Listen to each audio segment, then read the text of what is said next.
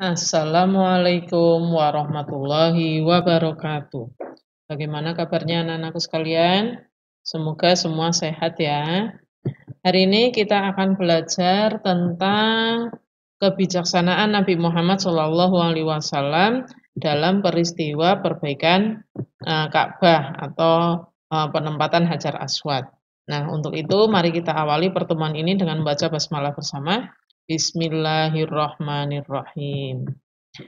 Anak-anakku sekalian, setelah mengikuti video pembelajaran ini, Bu Guru berharap kalian dapat menyebutkan usia Nabi Muhammad saat Ka'bah direnovasi, kemudian dapat menyebutkan nama arsitek yang memimpin renovasi Ka'bah, kemudian menyebutkan nama orang yang memberikan usulan jalan keluar perselisihan kaum Quraisy dengan benar, kemudian yang keempat, menceritakan cara Nabi Muhammad dalam menyelesaikan perselisihan kaum Quraisy. Dan yang terakhir menyebutkan gelar Nabi Muhammad SAW setelah peristiwa Hajar Aswad.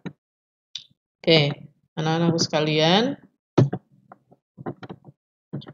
uh, ketika Nabi Muhammad berusia 35 tahun, uh, Ka'bah mengalami kerusakan dikarenakan ada banjir besar Nah, karena Ka'bah rusak, kemudian kaum Quraisy sepakat untuk memperbaiki Ka'bah. Mereka membagi sudut-sudut Ka'bah dan menghususkan setiap kabilah dengan bagiannya masing-masing.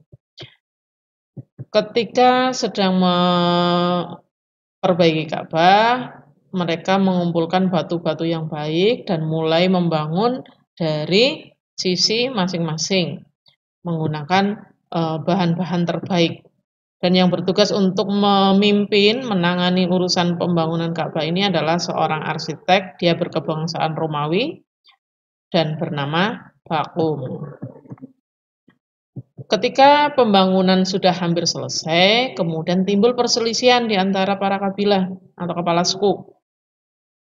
Kenapa mereka berselisih? Mereka e, berselisih tentang siapa yang paling berhak untuk meletakkan Hajar Aswad pada tempat semula. Kenapa hal itu menjadi perselisihan? Karena mereka merasa paling berhak untuk meletakkan Hajar Aswad. Mereka berpendapat kalau orang atau kabilah yang meletakkan Hajar Aswad di tempatnya, itulah kabilah yang paling terhormat. Nah, karena silang pendapat, mereka berselisih tidak ada kata sepakat, hampir-hampir eh, perselisihan itu menimbulkan pertumpahan darah. Nah, dalam keadaan seperti ini, ada seseorang yang bernama Abu Umayyah bin Mughirah. Dia mengajukan usul untuk keluar dari perselisihan itu. Dia mengusulkan siapa yang masuk masjid lewat babu sofa yang pertama kali masuk masjid, maka uh, dialah yang kemudian akan menjadi hakim tentang perselisihan tersebut. Nah, Eh, para kabilah pun setuju. Kemudian mereka uh, pulang. Nah, di pagi harinya mereka mendapati bahwa ternyata orang yang pertama kali masuk masjid adalah Nabi Muhammad Shallallahu Alaihi Wasallam. Nah, kemudian semuanya merasa senang karena Nabi Muhammad sudah terkenal sangat bijaksana. Nah, bagaimana cara Nabi Muhammad menyelesaikan perselisihan tersebut? Kemudian Nabi Muhammad membentangkan kain di samping Hajar Aswad. Kemudian Hajar Aswadnya diangkat oleh beliau sendiri, ditaruh di atas kain. Selanjutnya, eh, beliau memanggil masing-masing kepala suku untuk memegang pinggiran kain. Kemudian mereka disuruh untuk mengangkat bersama-sama, diangkat bersama-sama di bawah uh, Hajar Aswad tadi ke dekat tempat Hajar Aswad akan dipasang. Nah, setelah sampai di samping tempat Hajar Aswad akan dipasang, Nabi Muhammad kemudian mengambil Hajar Aswad tersebut dan menempatkannya sendiri ke tempat semula. Apa sih Hajar Aswad? Hajar Aswad itu adalah batu, warnanya hitam. Jadi dinamakan Hajar Aswad itu adalah batu yang berwarna hitam. Nah, ketika Nabi Muhammad e, menyelesaikan perselisihan dengan cara tersebut, semua orang merasa puas karena semuanya merasa dihargai. Ketika diangkat e, bersama-sama, mereka merasa dihargai semuanya. Jadi merasa terhormat semuanya. Akhirnya selesai perselisihan tersebut. Anak-anakku sekalian, saat menyelesaikan renovasi Ka'bah, ternyata mereka kehabisan dana dan juga bahan bangunan yang diperlukan. Maka kemudian diputuskan untuk memberi tanda dengan pagar setengah lingkar di sebelah utara Ka'bah yang disebut dengan Hijir Ismail. Bahwa Hijir Ismail ini merupakan tanda bahwa ini sebetulnya bagian dari Ka'bah. Maka siapa orang yang sholat di Hijir Ismail itu sama saja dengan sholat di dalam Ka'bah. Dari peristiwa Hajar Aswad tersebut, Nabi Muhammad mendapat julukan Al-Amin, yang artinya orang yang dapat dipercaya. Nah, ini gambar denah e, Ka'bah ya. Ini Hajar Aswadnya di sini, di pojokan atau di rukun, namanya. Kemudian di pojok sini, kemudian ini pintu Ka'bah.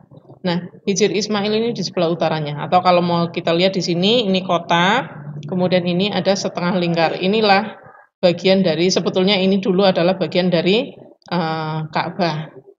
Oke, ini Ka'bah zaman dahulu ketika masih banyak berhala-berhala di sekitarnya ya. Ini Hijir Ismail seperti ini.